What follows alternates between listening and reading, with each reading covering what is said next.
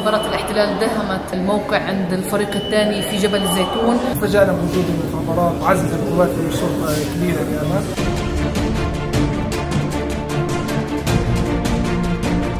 الاحتلال ما بده إعلام ينقل هموم الشعب الفلسطيني في مدينة القدس.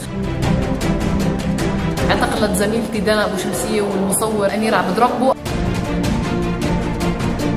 اعتدت كمان على الطاقم على الضيف اللي كان موجود. بحجة ان إحنا رسلنا قرار وزير الأمن الإسرائيلي بعدم بث اي أي صلة تخص تنفيذات فلسطين في القدس. كانت الحجة إن إحنا عمالنا نطلب بالسيادة الإسرائيلية في مدينة القدس هي باعتبار تحت السيطرة الإسرائيلية على حسب حد قولهم.